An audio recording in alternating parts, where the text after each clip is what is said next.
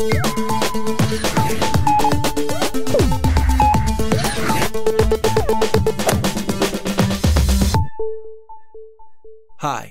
I'm Kenny Gioia. Welcome to another one of my tutorials.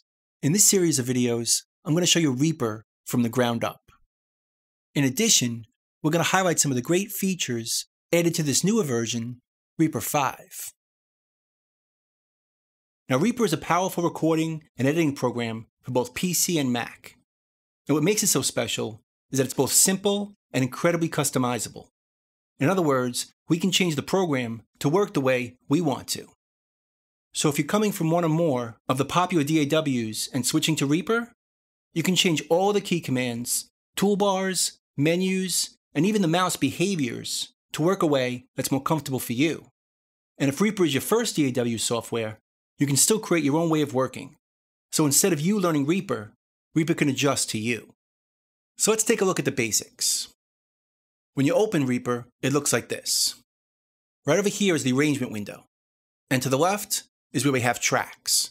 Now right now there's no tracks, but we can create tracks very easily just by double clicking. Double click, and here it is. So it's very easy to create tracks, and also very easy to delete them. Just hit delete, and they're gone. And one of the great things about Reaper is that tracks will work with anything. There's not MIDI tracks, audio tracks, aux or bus tracks, or video tracks. Any track can do any of those things. In fact, any track can do all those things. So we can have audio, MIDI, video, and a track could be used as a bus or an aux all at the same time. So it keeps it very simple because you don't have to decide what type of track you want to use. You can just create one and decide later. MIDI, audio, video, or a bus, or even a folder, which we'll get to later. Now, the way Reaper works is that it plays back audio, MIDI, or video from left to right. So any items that are in the arrangement window are going to play from left to right. So up here, we have the timeline or the ruler. It could be beats, seconds, or time code. So let's drag in some audio. We'll make another track. We'll go to our Explorer on the PC or the Finder on the Mac and find some sample loops we could import into Reaper. I have a drum beat, a synth line, and a piano. Let's drag them into tracks and see how they play back. We'll start with the drum beat, just drop it right here. Let's see what it sounds like.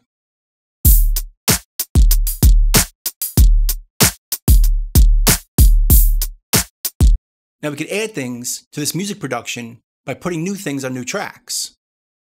So let's bring in the synth line. Let's line it up.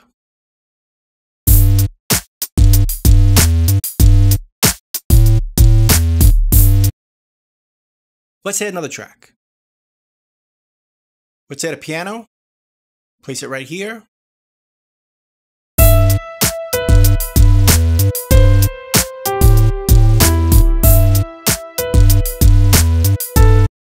So as you can see, it's very easy to add sounds on top of each other and create a blend or a mix.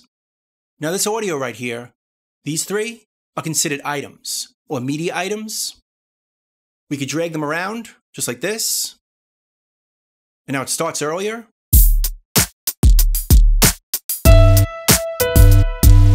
Same with the piano, have it start here.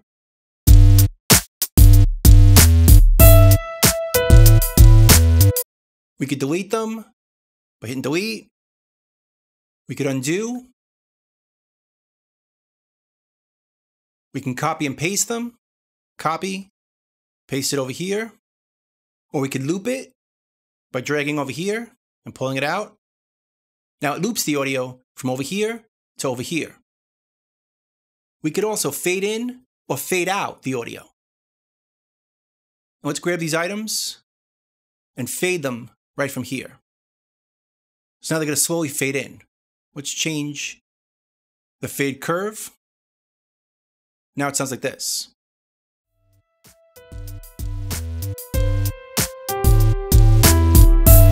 And we can fade out the same way. Just select them all, drag over here, and fade them out. Let's change the curve to this.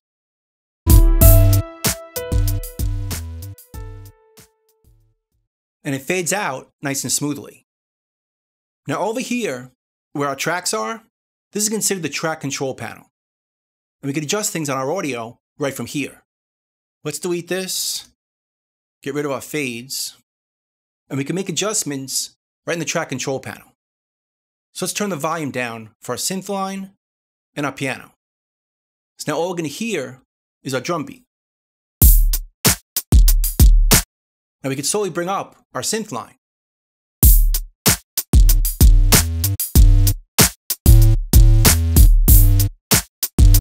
The same with our piano.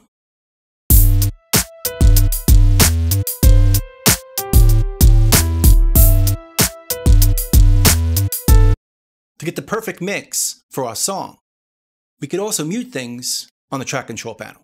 We can mute the drums, and we don't hear the drums. Or we could solo the synth line, and all we hear is the synth line. We could also pan. Let's pan the synth to the left and the piano to the right.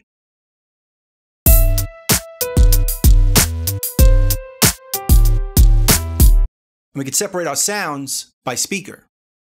And we could also add effects to each one of our sounds, like EQ, compression, reverb, delay. But we'll get into that later. But it can all be done right from the track control panel. Effects right here, routing here for sends, and we can use automation or envelopes down over here. Now, besides doing things in the track control panel, we also have a mixer.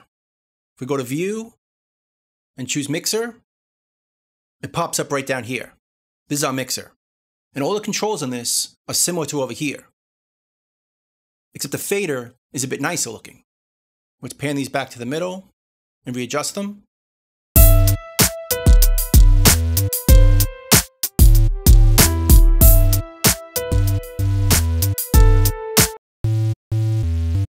The mixer just makes it easier to see our levels at a glance and adjust them here. Now, right now, the mixer is in our dock. Down here, we could have other items in the dock as well, like our routing matrix, properties, media explorer, and just about anything in the view menu. And then we could hide it by unchecking the docker. And it goes back to this, giving us more screen real estate for our track control panel and the arrangement window over here. Now we could also adjust our track heights and track width. So I could change the height of this, like this, or this one, or change the width of it all from here and make it nice and small, or not at all, so we could see more of the arrangement window. Now up here is our toolbar. Here's where we can adjust things or just see visual feedback of what mode we're in. For instance, we could hit lock, and now we can't move our items around because they're locked. Or we could hit it again, and now we can. We could turn our grid off so we don't see the grid, or turn it back on, or a whole bunch of other things, which we'll get into later. But it's also important to note we could change the toolbars completely. This whole toolbar can be customized. We could delete things, add new things, and we could also make new toolbars. If we right click up here, we could switch our toolbar to any of our custom toolbars, like this one, and then it does a whole bunch of different things, which we have the ability to customize. Let's put this back to a main toolbar, and it looks like this. Now down over here, this bar over here is the transport bar. Here we can choose to play, stop, or record. Hit this button here for play, or stop, or pause, or we can go into record. This button over here is for looping. So we could choose this, grab a section for looping, and this is going to loop.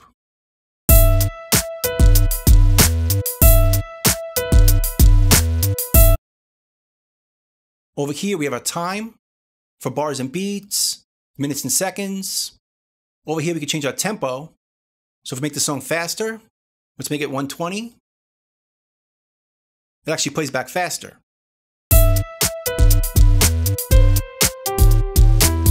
So we can change the tempo on the fly. We can also change our rate right here, which is going to stretch the audio. So if we go faster, plays back faster or slower.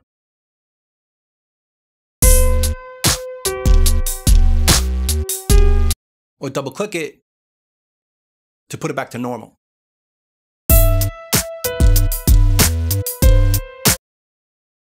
Now we could also zoom really close or really far out using a mouse wheel if you have one, or if using a trackpad using two finger pinch. Zoom on a section right here, zoom back out, and we can customize how we do that, which we'll get into later. We could right click anything, like an item, and we get a menu based on that item. So for media items, we get this menu. For tracks, we get this menu. For our ruler, we get this menu.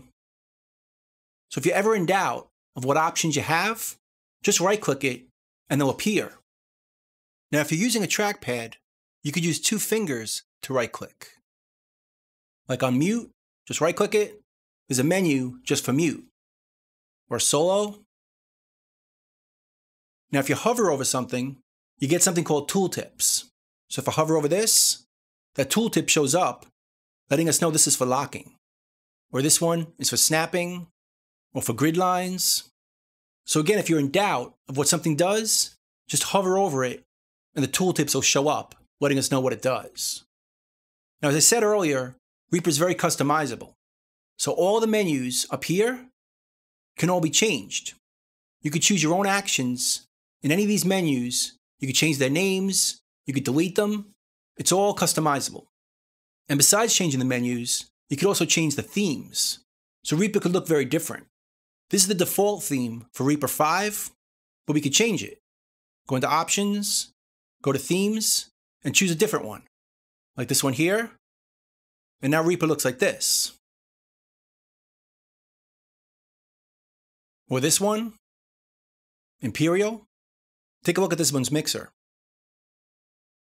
Pretty sharp looking. Or this one, Another pretty cool looking theme. So you can create your own themes or download themes from the internet. Just search Reaper themes and you'll find a whole bunch. Let's go back to the default one right now. Now in each theme, you could also adjust the layout. Like for tracks, if I go to layouts, go to my track panel, you could choose all these layouts for our tracks.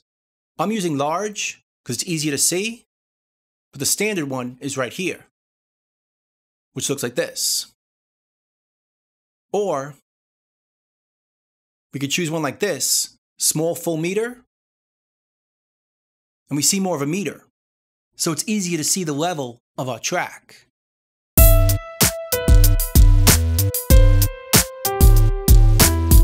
It's pretty good for recording, so you can see a meter a little bigger, as opposed to this. where the meter is a bit smaller. And there's layouts for the mixer as well.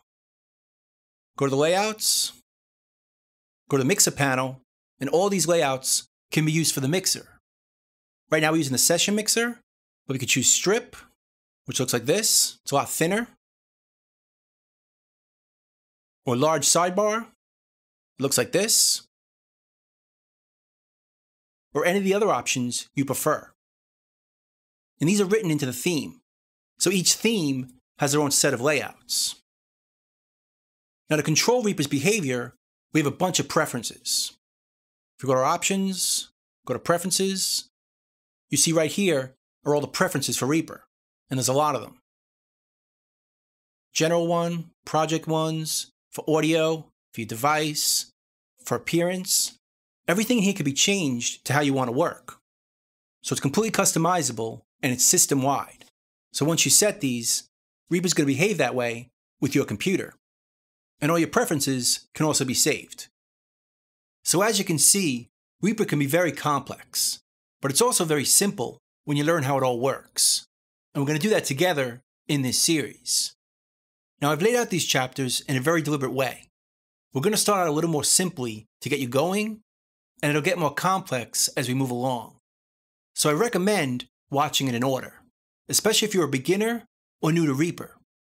Afterwards, you can use each chapter as a reference to refer back to if you need to learn a particular topic in more detail. Now, because Reaper is so customizable, it can get pretty complex. So certain areas of Reaper are not covered in this series, at least not in detail that they could be explored. For that reason, I would recommend checking out the video page on Reaper's main website, or the forum. There are a bunch of topics that are explored a lot more deeply and in greater detail. The mouse modifiers are a great example. I've made 12 videos on this page that just cover customizing your mouse movements, as this customization is very powerful, but it's not for everyone.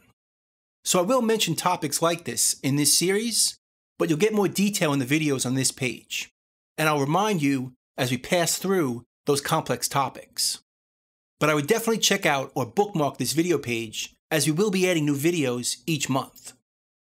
So anyway, let's start exploring Reaper 5. Let's go.